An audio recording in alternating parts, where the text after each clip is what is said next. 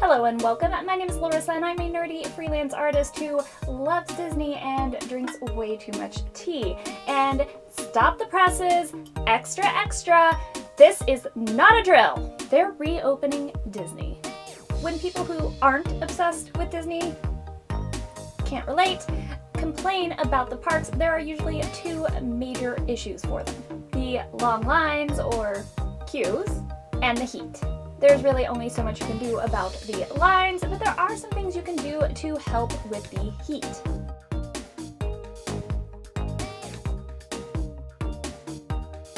Personally, I find it very helpful to cool off with a fan, and yes, I know, Every list on the internet for things you have to pack for Disney includes some sort of battery operated little fan, uh, whether it's one that clips to your clothes or you wear around your necklace, the ones you buy in the parks that squirt water to, or what have you. And those are all very awesome, and I have been known to use those on occasion, but I'm a little more old school than that.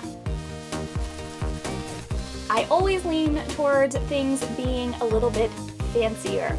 Pretty sparkly jewelry, nice dresses, Disney princesses. So of course I'm going to lean towards a more traditional fan for that reason, but there's other more practical reasons for them as well.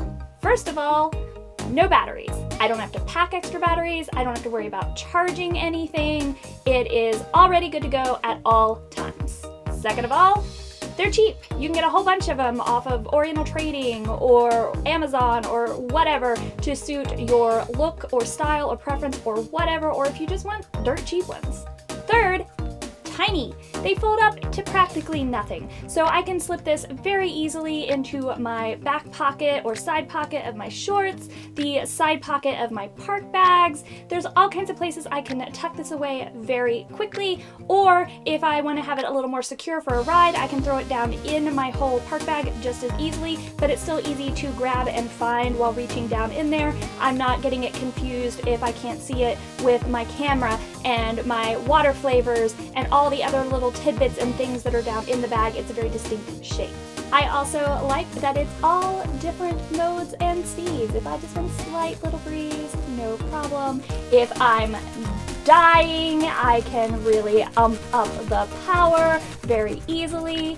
I feel like it's a lot quieter than some of those battery operated ones. Yes, there's a little bit of noise, but I feel like it's a lot less obtrusive than some of the ones that are more electrical and electronic. And as I've mentioned before, I take my Disney outfits very seriously. From my ears to my shoes and everything in between, everything is very well thought out in advance, days or weeks in advance. So why should I take my really cute little Ariel outfit and ruin it with some little electronic gadget?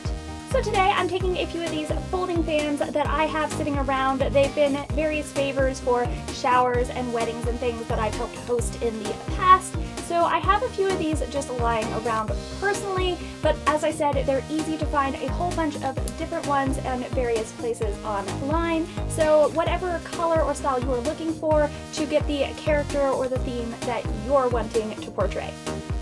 For materials, you will need your fans, a pencil, various paint brushes, and an assortment of paint colors appropriate to your theme. The folds in the fan will give you a, a really good vertical frame of reference for spacing.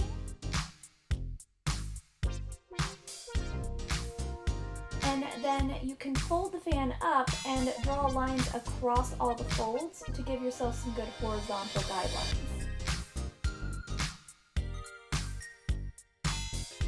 When you unfold the fan, you have these little dots that you can use to keep everything even and of the same height.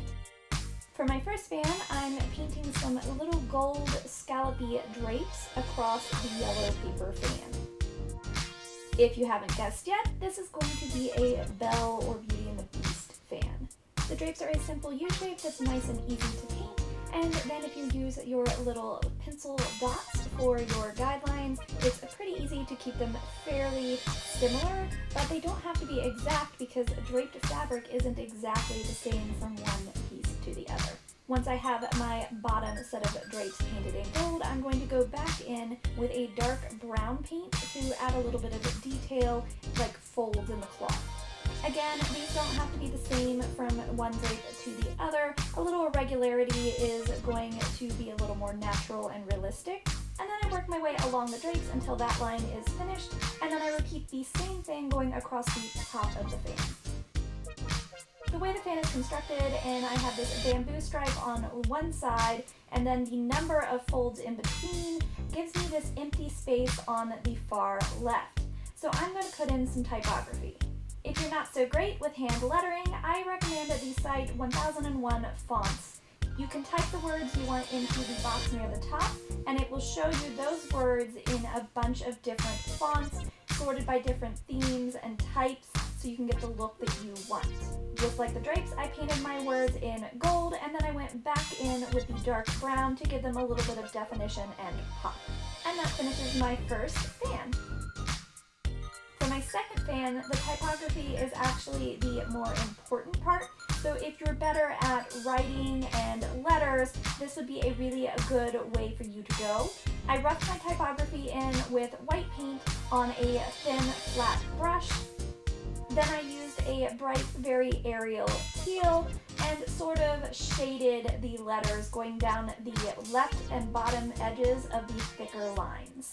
Again, this is just to give it a little bit of depth and to add a little bit of pop of color. Once I had my letters done, I went back in and drew some bubbles to dot my eyes and off trailing on the right side. And that finishes my Ariel fan. If you are a little more artistically inclined, you can draw whatever image you want onto your fan in paper and then go over it with Sharpie or a fine pen. I filled in the larger, bulkier spaces of black with the Sharpie, and anywhere that was a smaller, more detailed section, I went in with my fine point Sharpie pen. Those always work really well together for me, and I think that they give me a good variety of large area to fine detail.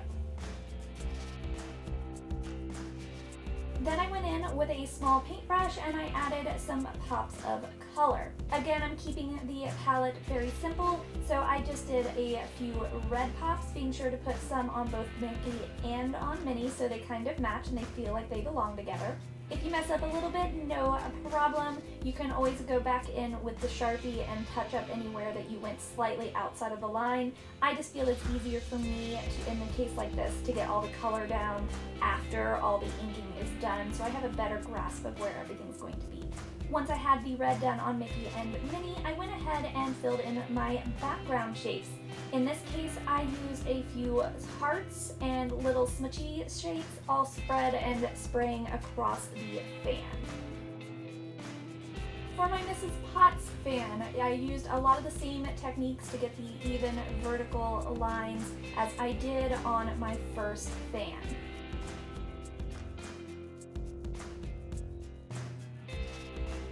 Once the gold lines were down, I started at the bottom and alternated between teal and pink little scallop shapes, making the pink ones slightly larger than the teal ones.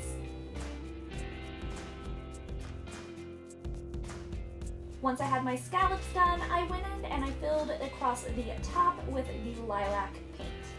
The gold squiggle with the lilac above it is supposed to represent her little teapot lid. I wanted to do the bottom lilac section last so that I would be sure that my pink and teal scallops had dried completely before I went in and started painting over them. That way I could use the lilac to clean up my edges and make my scallops nice and pointy down at the bottom a whole lot easier.